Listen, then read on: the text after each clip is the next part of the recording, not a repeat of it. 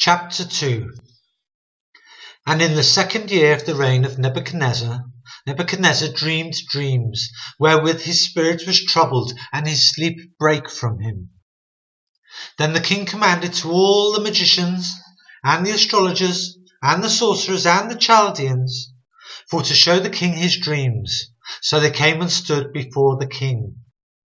And the king said unto them, I have dreamed a dream and my spirit was troubled to know the dream. Then spake the Chaldeans to the king in Syriac, O king, live for ever. Tell thy servants the dream, and we will show the interpretation.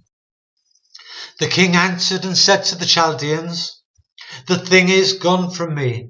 If ye will not make known unto me the dream, with the interpretation thereof, ye shall be cut into pieces, and your houses shall be made a dunghill. But if ye show the dream, and the interpretation thereof, ye shall receive of me gifts and rewards and great honour. Therefore show me the dream, and the interpretation thereof. They answered again and said, Let the king tell his servants the dream, and we will show the interpretation of it. The king answered and said, I know of certainty that ye would gain the time, because ye see the thing is gone from me. But if ye will not make known unto me the dream, there is but one decree for you, for ye have prepared lying and corrupt words to speak before me, till the time be changed. Therefore tell me the dream, and I shall know that you can show me the interpretation thereof. The Chaldeans answered before the king and said, There is not a man upon the earth that can show the king's matter. Therefore there is no king, lord, nor ruler that asked such things at any magician, or astrologer, or Chaldean? And it is a rare thing that the king requireth, that there is none other that can show it before the king, except the gods whose dwelling is not with flesh. For this cause the king was angry and very furious, and commanded to destroy all the wise men of Babylon.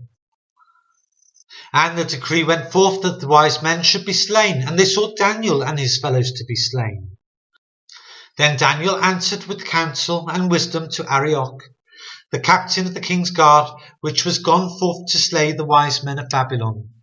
He answered and said to Arioch, the king's captain, Why is the decree so hasty from the king? Then Arioch made the thing known to Daniel. Then Daniel went in and desired of the king that he would give him time and that he would show the king the interpretation.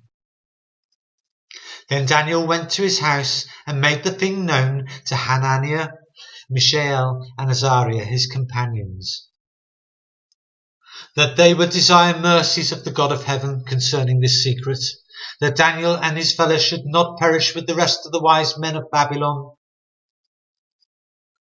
Then was the secret revealed unto Daniel, in a night vision. Then Daniel blessed the God of heaven. Daniel answered and said, Blessed be the name of the God for ever and ever, for wisdom and might are his. And he changeth the times and the seasons. He removeth kings and setteth up kings. He giveth wisdom unto the wise and knowledge to them that know understanding. He revealeth the deep and secret things. He knoweth what is in the darkness, and the light dwelleth with him. I thank thee and praise thee, O thou God of my fathers, who hast given me wisdom and might, and hast made known unto me now what we desired of thee. For thou hast now made known unto us the king's matter. Therefore Daniel went unto Arioch, whom the king had ordained to destroy the wise men of Babylon. He went and said thus unto him, Destroy not the wise men of Babylon. Bring me in before the king, and I will show unto the king the interpretation. Then Arioch brought in Daniel before the king in haste, and said thus unto him, I have found a man of the captives of Judah that will make known unto the king the interpretation. The king answered and said to Daniel, whose name was Belteshazzar, Art thou able to make known unto me the dream which I have seen and the interpretation thereof? Daniel answered in the presence of the king and said, The secret which the king hath demanded cannot the wise men, the astrologers, the magicians, the soothsayers show unto the king. But there is a God in heaven that revealeth secrets, and maketh known to the king Nebuchadnezzar what shall be in the latter days. Thy dream and the visions of thy head upon thy bed are these. As for thee, O king, thy thoughts came into thy mind upon thy bed, what should come to pass hereafter, and he that revealeth secrets maketh known to thee what shall come to pass. But as for me, this secret is not revealed to me for any wisdom that I have more than any living, but for their sakes that shall make known the interpretation to the king, and that thou mightest know the thoughts of thy heart. Thou, O king, sawest, and behold, a great image.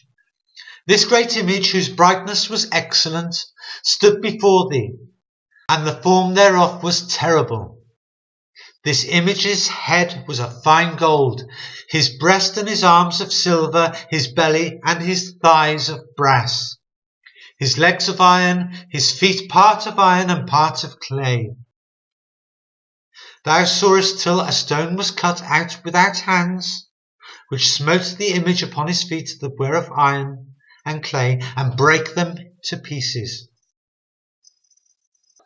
Then was the iron, the clay, the brass, the silver, and the gold broken to pieces together, and became like a chaff of the summer threshing floors, and the wind carrieth them away that no place was found for them, and the stone that smote the image became a great mountain and filled the whole earth. This is the dream, and we will tell the interpretation thereof before the king. Thou, O king, art a king of kings, for the God of heaven hath given thee a kingdom, power, and strength, and glory.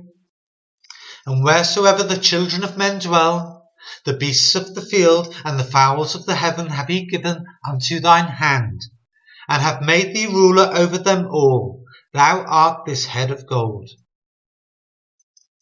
And after thee shall arise another kingdom inferior to thee, and another third kingdom of brass, which shall bear rule over all the earth.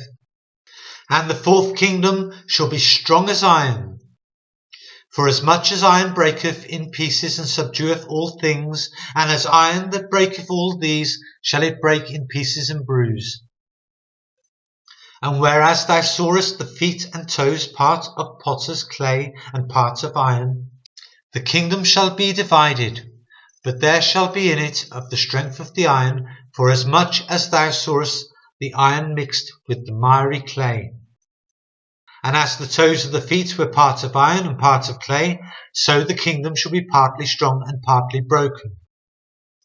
And whereas thou sawest iron mixed with miry clay, they shall mingle themselves with the seed of men, but they shall not cleave one to another, even as iron is not mixed with clay.